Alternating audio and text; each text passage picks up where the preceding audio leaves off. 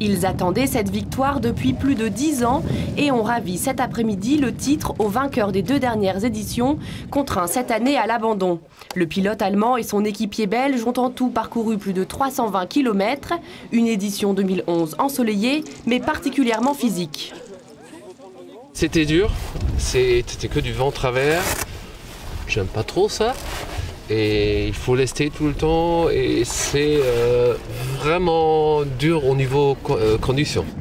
Sous un ciel bleu immaculé, les 50 pilotes se sont relayés pendant les 6 heures de course, le temps pour la marée de remonter.